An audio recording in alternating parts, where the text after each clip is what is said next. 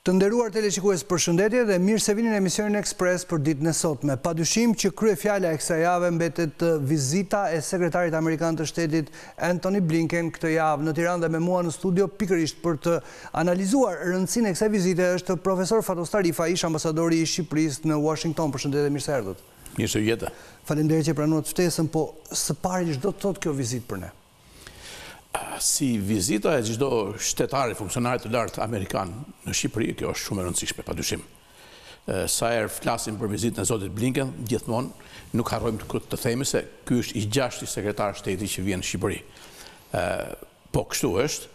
Unë kam pasur fatin të shërbeja në Washington kur sekretari i shtetit Colin Powell erdhi këtu në dy maj të vitit dy mijë e tre dhe e di sa rëndësi ka vizita e një sekretari shteti, kryediplomatit të fuqisë më të madhe të globit.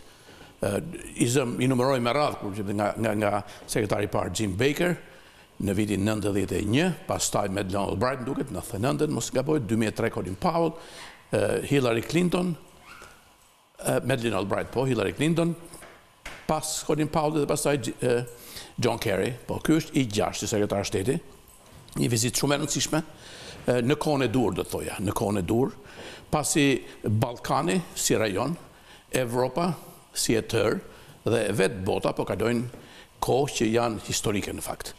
Kohë nga të cilat do të varen shumë ecuria e ngjarjeve ndërkombëtare në të ardhmen dhe ndoshta ndoshta edhe edhe ndryshimi i pllakave tektonike të globit me çfarë po shohim të ndodhë. Për nga mënyra se si për nga mënyra se si po zhvillohen ngjarjet dhe si po zhvillohen sidomos situatat konfliktuale në Evropë, midis Ukrainës dhe Rusisë në Lindjen e Mesme, që për një kohë të gjatë ka qenë dhe do të mbetet një pikë e nxehtë në Azinë Qendrore dhe çfarë flasim, çfarë dëgjojmë, çfarë ndjekim nga afër edhe acarimi i situatave në detin e Kinës Jugore, natyrisht, mos harrojmë kurrë, mund të jetë një qendër e ardhshme konfliktesh të ashpra.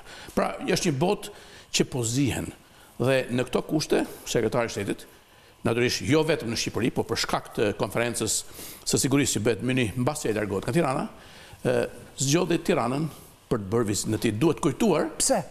Pse Tirana dhe jo Beogradi apo Shkupi. Sepse fatmirësisht, por në një situatë jo fort të mirë, Tirana është shndërruar në një kryeqytet ku Shtetet e Bashkuara të Amerikës shohin më shumë stabilitet dhe shohin një faktor që mund të ndikojë për të stabilizuar edhe rajonin si të tillë. Këtë rol Shqipëria e ka luajtur që nga vitet të paktën mbas nëntë e shtatë, nëntë e tetës, me qeveritë socialiste në fillim të viteve dy mijë dhe pastaj më vonë, por aktualisht Shqipëria po mbetet vendi më i stabilizuar, pavarësisht destabilitetit që ka brenda vendit, midis forcave politike këtu, krahasuar me Serbinë, krahasuar me Kosovën. Maqedonia e Veriut ishte vendi ku Sekretari Blinken vizitoi për herë të parë. vitin e kaluar me sa di, në vjeshtë. Pra, Shqipëria është vendi i dytë në rajonin e Ballkanit Perëndimor që vizitohet nga një sekretar shteti. Nuk dimë akoma gjë për programin e asaj vizite, nëse ju si gazetar dini më thoni dhe mund ta komentojmë. Po ajo ajo që ne dimë është që do ta për shembull vizita do jetë shumë e shkurtër. Zakonisht vizitat janë 2-3 orë, 3 orë. Mund të qëndrojë në aeroport dhe të zhvillojë takimet atje për shkak se për momentin Tani që flasim, as Garda e Republikës, as Policia e Shtetit nuk është se janë përfshirë, pra nuk do të, nuk jo detyrimisht vjen në Tiranë. Bukur. Dhe takimet, ndoshta edhe konferencën e shtypit me kryeministrin Rama, edhe për shkak të axhendës së këtij të fundit, që kthehet nga një vizitë zyrtare në Bruksel në të njëjtën ditë, mundet që t'i zhvillojnë në aeroport në Rinas, se çështja është kaq e shkurtër. Këtë informacion unë nuk e kam mbi programin e tij. Di që në dy raste kur Sekretari i Shtetit, Pauell dhe Sekretari i Mbrojtjes në atë kohë, Rumsfeld kanë vizituar Tiranën, vizita e tyre zgjati tre dhe katër orë. Dhe çdo gjë ishte e përcaktuar në detaje. Unë u mora me programin e asaj vizite, e dija atë qysh në Uashington, por në Tiranë u zbatua pikë për pikë ajo dhe çdo takim ishte aq sa ishte parashikuar. Pra janë të përfshira ambasadat sipas jush? Patjetër, ambasada në Uashington është pritësja, siç është dhe qeveria shqiptare. Domethënë, kreu i ambasadës, i ngarkuari me punë i saj, është i zoti i shtëpisë, në një farë kuptimi, bashkë me kryeministrin e vendit. Por, normalisht, një vizitë e tillë do të nënkuptonte, në kushte normale, një takim me kreun e shtetit, presidentin e vendit, çdo sekretar shteti e ka takuar atë, me kryeministrin, përtej kësaj nuk di. Po të dëgjosh fjalët që thuhen lart e poshtë nëpër mediat online, në shtyp se cilët potencialisht mund të jenë ata me të cilët do të takohet. Po le ta themi hapur, kreu i spak Dumani për shembull. E kam dëgjuar dhe prandaj e përmenda, unë do thoja se nëse ka një zhvillim kohët e fundit në Shqipëri që do të konsiderohej shumë pozitiv dhe që ka pasur mbështetjen e plotë të Shteteve të Bashkuara, këtu tek ne ka qenë veprimtaria e spak-ut. Shumë njerëz e kritikojnë veprimtarinë e atij institucioni, Presin që gjithçka të zgjidhet brenda natës, që do kriminelët të shkojnë mbas hekurave brenda natës, por është një proces i gjatë, i vështirë dhe me sa unë kam ndjekur, SPAK-u ka qenë ai institucion te i cili njerëzit kanë jo vetëm shpresë më shumë, edhe besim, por dhe që me sa duket do të marrë dhe vlerësime të mëdha nga administrata amerikane, sepse është padyshim e frymëzuar, e motivuar nga administrata për të luftuar korrupsionin dhe krimin e organizuar në Shqipëri dhe ka bërë shumë. Për mua ka bërë shumë. Është një investim direkt i amerikanëve. Një, një takim, edhe pse do të ishte jo konvencional, jo i zakonshëm, i një sekretari shteti me kreun e një hetusie të përgjithshme, një organizate si ajo, ë nuk do të bënte kuptim në situata të tjera, por në kushtet që është Shqipëria, me zhvillimet që ne po shohim në fushën e vendosjes së drejtësisë, së luftës kundër ë krimit të organizuar dhe dhe korrupsionit në nivele më të larta, Do të bënte kuptim, do të ishte një mesazh pozitiv për vetë SPAK-un, por sidomos për publikun shqiptar, që pret shumë prej tij. Ky publik shqiptar pret edhe diçka për Kosovën?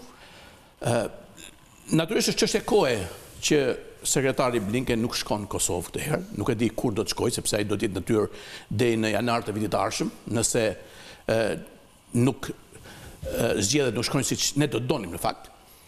Por padyshim që është një mesazh për tërë faktorin shqiptar në në në Ballkan.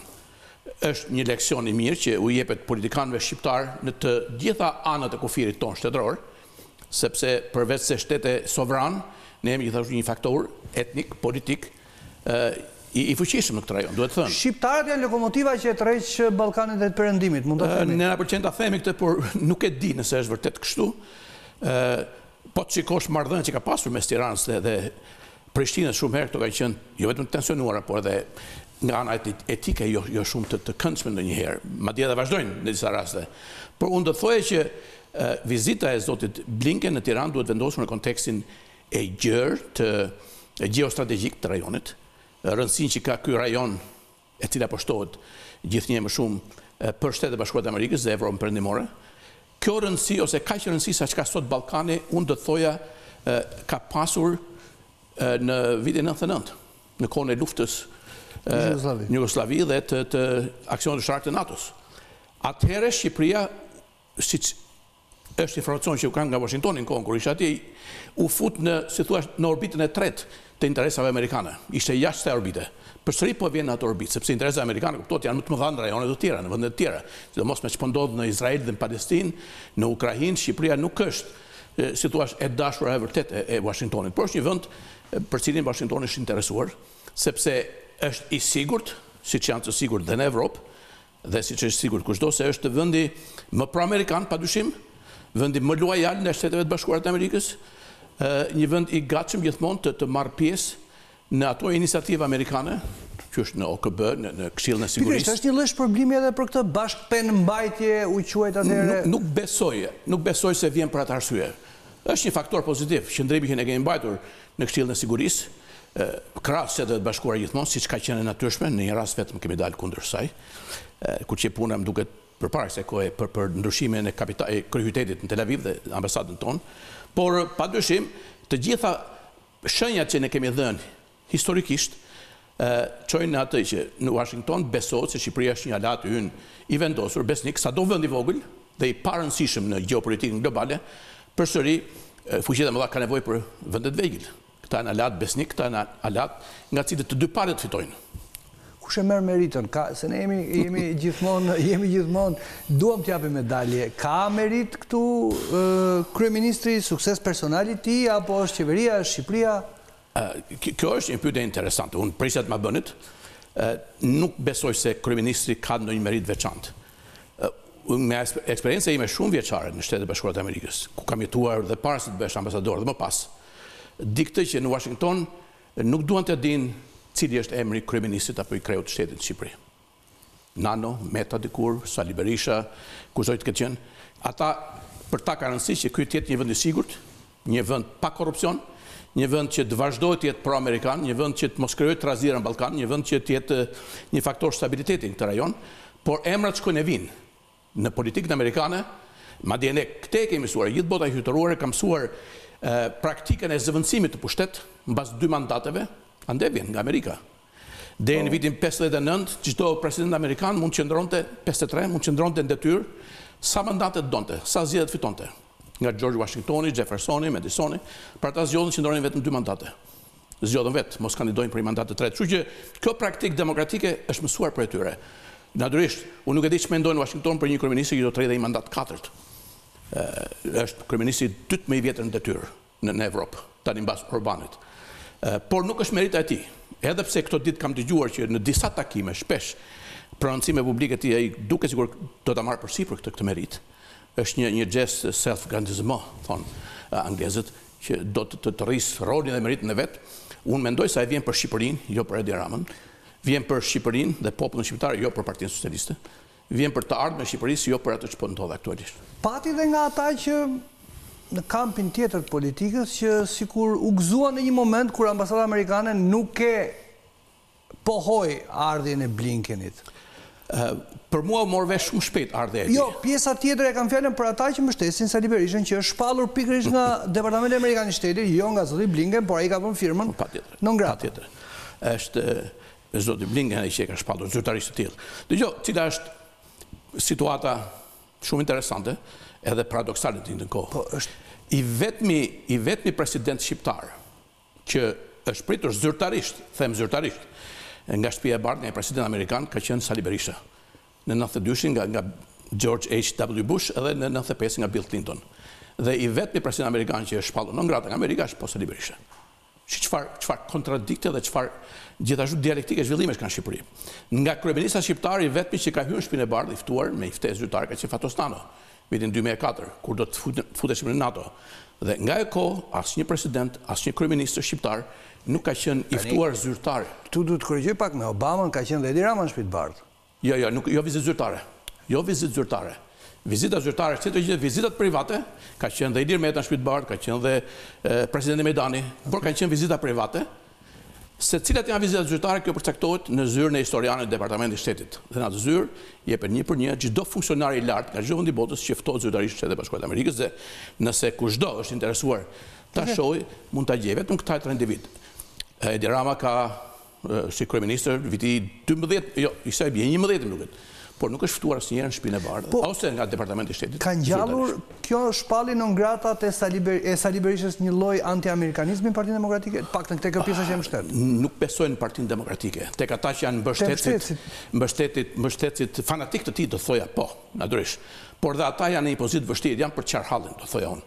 Sepse nga njëra anë kanë frikë t'i largohen Berishës, nga ana tjetër nuk kanë të ardhme pa të ose me të, sepse ai vetë nuk ka të ardhme në politikën shqiptare. Veçse është kurioz fakti që Blinken vjen pikërisht në atë shtet për një vizitë ku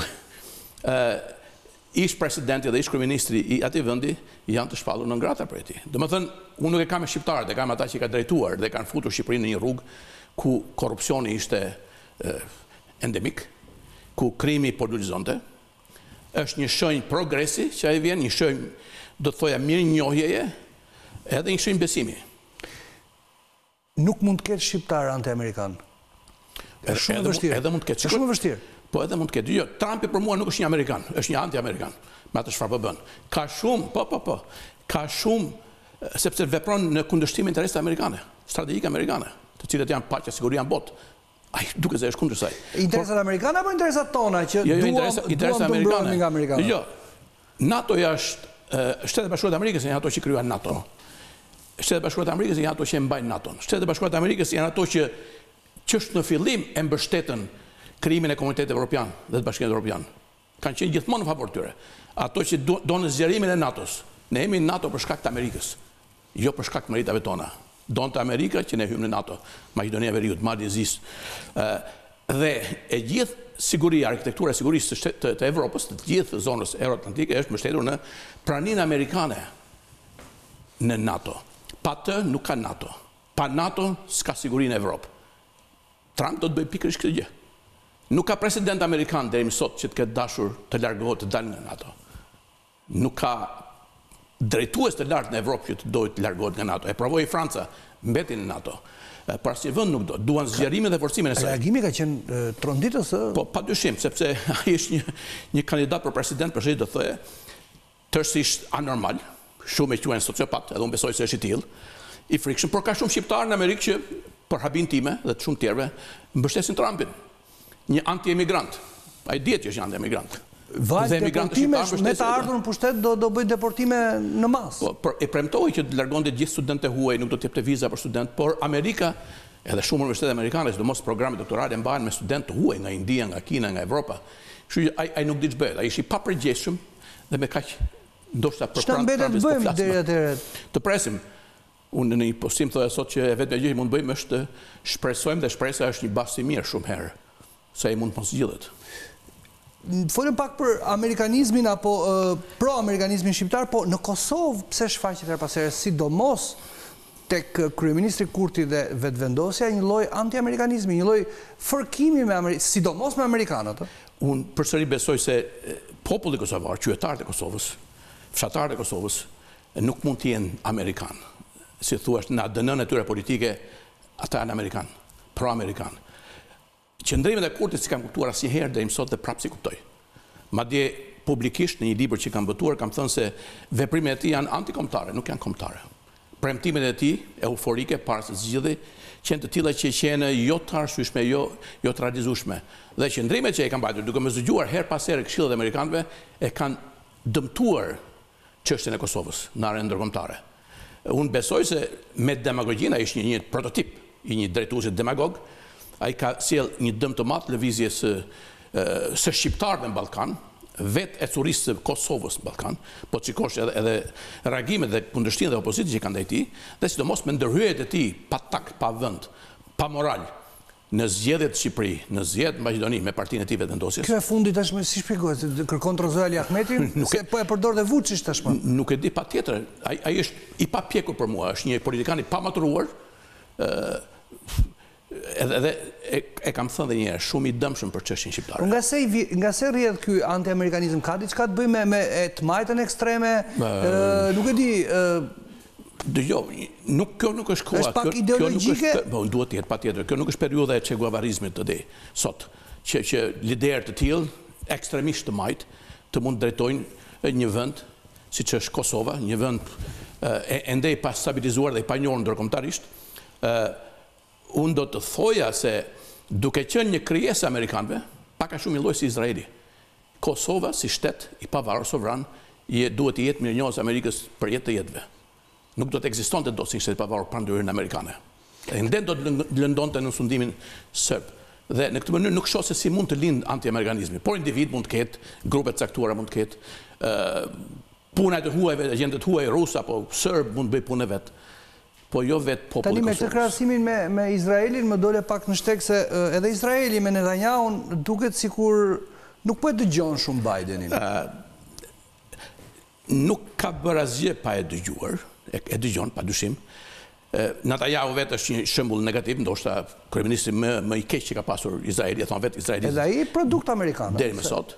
I shkolluar në Amerikë, por edhe ai shumë kontroversal, edhe ka reagime të forta brenda Izraelit, nga kundërshtarët e tij, nga opozita e tij. Nuk është kryeministri që do të zgjidhë çështjen palestineze, madje shkon deri atje sa ta mohojë mundësinë e dy shteteve, gjë që është në kundërshtim me politikën amerikane, por nuk besoj do e lënë. Po të shikonit se çfarë thoshte David Cameron një javë përpara, ish kryeministri anglez, sot ministër i Jashtëm, se ne do të përgatitemi për të njohur eventualisht shtetin e pavarur të Palestinës, Kjo është tronditëse, në kuptimit pozitiv të fjalës, se mund të vijë një ditë që Izraeli të humbasë tërë ato karta që luan me komunitetin ndërkombëtar. Dhe aty ku ka mbështetje më të fortë, në Shtetet e Bashkuara dhe në Britaninë e Madhe, të mos ketë më këtë mbështetje, nëse nuk ndryshon politika. S'është vetëm mbështetje politike, është mbështetje financiare me armë. Është politike, padyshim, por është kryesisht Një mbështetje që synon të mbajë, të mbajë nën kontroll po se po, po edhe të stabilizojë sado që është e mundur, një rajon tepër, tepër të vështirë siç është Lindja e Mesme. Ka një rrezik që të vijë me një mesazh të qartë Blinken, të cilin do t'ia dëgjojmë, nuk do them krismën, po zërin pak muaj më vonë, ka rrezik për një shpërthim në Ballkan? Unë nuk besoj. Shumë njerëz, dhe tani që vija madje, shoferi i taksisë më thoshte një gjë, ai vjen në mënyrë që se është frika e Serbisë, Serbia mund të sulmojë Kosovën, nuk shoh ndonjë rrezik që Serbia të sulmojë Kosovën, se nuk sulmohet Kosova, sulmohet Amerika. Në Kosovë janë trupat e NATO-s, është baza amerikane, nuk është përtej imagjinatës sime. Mund të ketë konflikte patjetër në kufi, në zona kufitare, por sulm të armatosur, pushtim as që bëhet fjalë. Por ata duan si sidoqoftë një një një një një vend që të jetë i stabilizuar, madje mos harrojmë se Kuçova Është shumë e rëndësishme për ta. Nuk është Bondsteel, por është një bazë shumë e rëndësishme për amerikanët, për planet e tyre të sotme dhe të ardhme. Kështu që nuk e di sa dikush sugjeroi se do të vizitojë Kuçovën. Nuk besoj se kjo është arsyeja pse ai vjen. Një sekretar mbrojtjeje mund ta bënte, por Po ndoshta shkaku i sekretarit të mbrojtjes i shtrirë në reanimacion, se edhe kjo edhe kjo është e rrallë, ë? Ajo bazë iu premtua fillimisht në fakt sekretarit Rumsfeld në dy mijë e pesën, dy mijë e katër, dy mijë e tre, më falni, ku erdhi nga kryeministri i kohës, Nano, ë dhe është në interesin amerikan, sidomos në një vend të stabilizuar, politikisht stabilizuar si ne. Po ka dhe simbolikë, ish bazë sovjetike në Ballkan. Amerikanët nuk veprojnë shumë me simbole, janë shumë pragmatistë. Kjo i dallon. Ish qyteti Stalin, se ka shumë. Po nuk nuk është kjo arsye, domethënë ajo duke qenë duke qenë super modern, mos them postmodern, ata janë shumë pragmatistë. Ideologjia luan pak rol te këta. Në vitet pesëdhjetë, gjashtëdhjetë komunizmi për ta mbaroi, sa kohë që i shpëtuan rrezikut sovjetik. Por si pragmatistë, sidomos në çështje të sigurisë, po, ajo bazë ka rëndësi për ta, siç ka i tërë rajoni. Për ta i rëndësishëm është dhe Mali i Zi, ku influenca ruse është e madhe.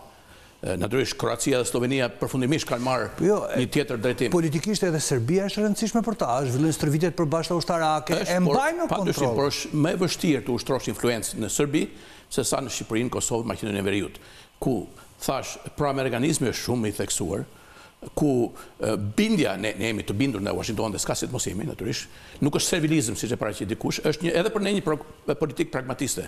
Ne duam siguri në vendin tonë. Jo, ne edhe në gjumë të na pyes, është me Amerika, po, se është Ne ne ne duam siguri, sigurinë e jetës, është siguria e parë, dhe këtë siguri na ofron vetëm NATO-ja. Vetëm NATO. Tani del Trumpi thotë që unë s'do të mbroj asnjë vend që s'paguan kotizacionin 2%, Të bëjë ç'të dojë Rusia me ta, nuk është një marrëzi, nuk është një një.